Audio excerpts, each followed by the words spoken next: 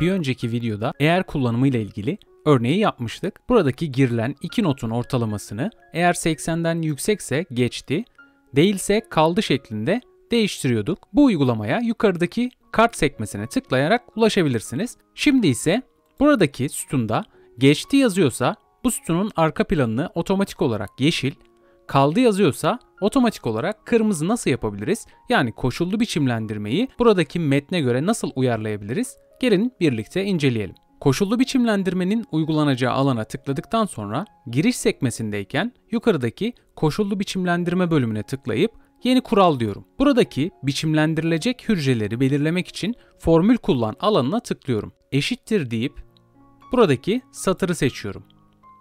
Ardından tekrar eşittir diyerek tırnak içerisinde geçti yazıyorum ve tırnağı kapatıyorum. Burada eğer geçti olduğunda hangi biçimlendirmeyi kullanmak istiyorsanız o rengi seçiyorsunuz. Buradan biçimlendir deyip yukarıdaki dolgu rengini yeşil seçip tamam diyorum.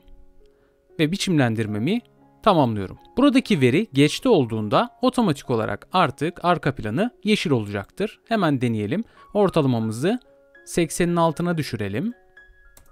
Gördüğümüz gibi kaldı yazdığında buradaki arka plan silindi. Tekrar geçtiye çevirelim. Ve gördüğümüz gibi yeşil oldu. Şimdi tam tersini kaldı yazdığında da kırmızı yapalım. Yine alana tıklayıp koşullu biçimlendirme diyorum. Yeni kural diyorum. Az önceki izlediğim adımları tekrar uyguluyorum. Biçimlendirmemizi uyguladık. Şimdi 80'in altında bir not girip enterladığımızda gördüğümüz üzere kaldı yazdığında arka planımız kırmızı olmuş oldu. Görüşlerinizi videonun altına yorum olarak bırakmayı unutmayın. Görüşmek üzere.